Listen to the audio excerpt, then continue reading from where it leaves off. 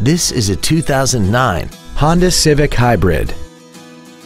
This car has a continuously variable transmission and an inline four-cylinder engine. All of the following features are included. Traction control and stability control systems, air conditioning with automatic climate control, cruise control, variable valve timing, tinted glass, an anti-lock braking system, side curtain airbags, full power accessories, a rear window defroster, and a rear spoiler. Contact us today to arrange your test drive. Don Johnson Motors is located at 734 West Avenue in Rice Lake. Our goal is to exceed all of your expectations to ensure that you'll return for future visits.